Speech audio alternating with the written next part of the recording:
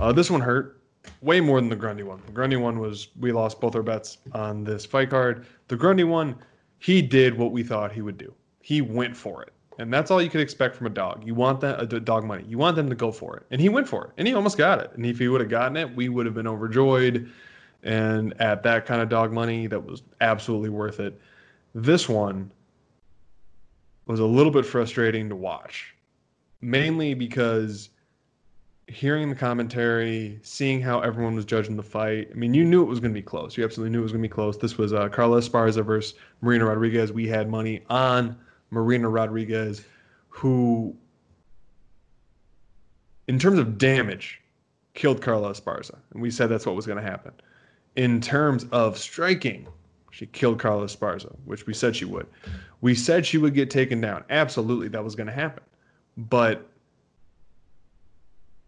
in terms of like doing anything on the ground, Esparza was doing the absolute bare minimum that if this was just the last fight card, if you go back to the last fight card, there was a few refs that were just like standing everybody up. This one would have got standed up. Stand that shit up. 10 times. There was a few times where she did advance position and she did do enough pitter patter shots to keep it going. But even like in all seriousness, the most damage that was happening when she was on top was Rodriguez from the bottom with those elbows. She bloodied Carla up. And don't worry, I'm not I'm not delusional.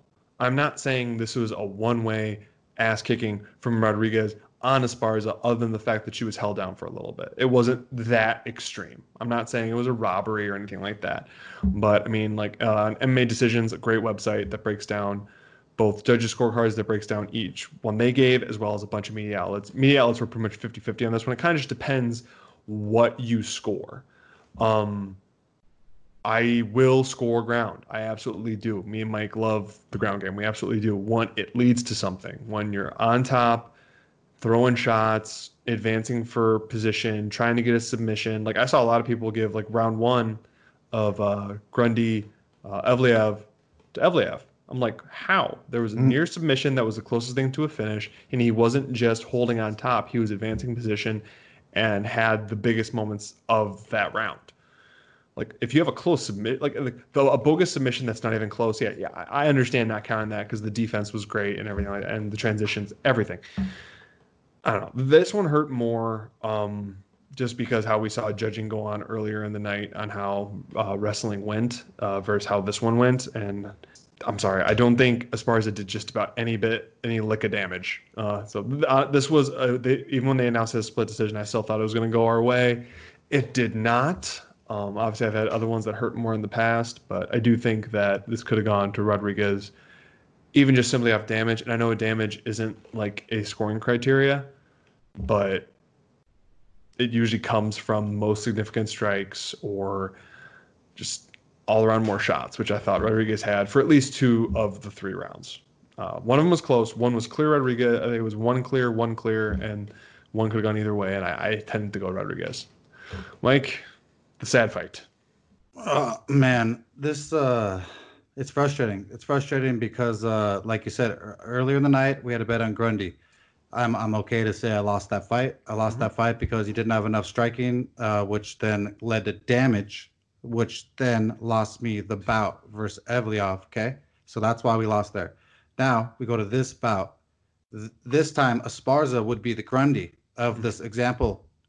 Esparza takes her down and does absolutely no damage. Nothing. Doesn't si- pass for side control. Doesn't go to full mount ever really. Doesn't get to a submission. Doesn't really threaten at all. Doesn't lay any damage at all. Marina Rodriguez damaged her face, broke her orbital socket, I believe. I mean, she couldn't even see out of one eye. I, I don't understand how you can say that Carla Esparza won that fight, but Grundy lost his fight. Um, I, I don't get it. It's crazy, but uh, it, it definitely was a closer fight than I wanted to be. It, it was because of those stupid takedowns that led us to less time to damage Esparza's face. But those judges are blind, man. Esparza's taking her down and holding her down because she's praying to God that she doesn't let her up to, so she smashes on her. So uh, it definitely hurt, man. This whole card, man, was a, a, parlay buster. I don't think there was a parlay to be had on this card. It, it's you know when people thought that shit was going to cash, it did not cash. uh, you know, there was a lot of great betters who were on the same side as us, and we both ate shit together. So I don't want to eat shit together, but we did. If you like this clip, remember to like, subscribe, and comment. We want to hear from you. Let's roll.